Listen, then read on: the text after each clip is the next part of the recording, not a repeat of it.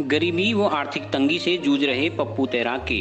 पैर का जिला अस्पताल में सफल ऑपरेशन हो गया है। पप्पू के ऑपरेशन में बागेश्वर पुलिस के सिपाहियों ने रक्तदान कर उसे मदद की। यहाँ बता दें कि पप्पू तैराक कैंसर की बीमारी से जूझ रहा था। उसके पैर में इन्फेक्शन हो जाने से उसकी स्थिति दिन ब दिन खराब होती जा रही थी। लॉकडाउन अवधि में इलाज नहीं मिल पाने के कारण पप्पू तैराक ज़िंदगी व मौत के बीच संघर्ष कर रहा था।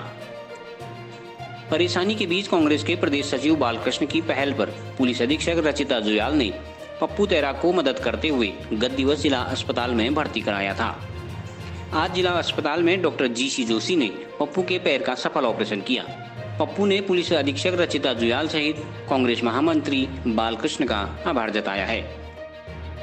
मैं शीशे न्यूज़ का बहुत बहुत धन्यवाद करना चाहता हूँ कि शीशे न्यूज़ के उससे ही आज पप्पू तैराकी और पप्पू दा का आज इलाज हो चुका है, आज उनका ऑपरेशन हो चुका है।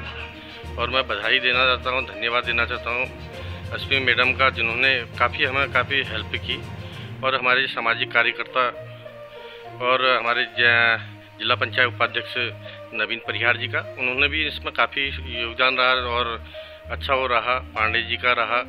बहुत से सामाजिक कार्यकर्ताओं ने उसमें हेल्प की। आज वो सक्सेसफुल हो चुके हैं और मैं भगवान से विनती करता हूँ बाबा बागनाथ जी से प्रार्थना करता हूँ।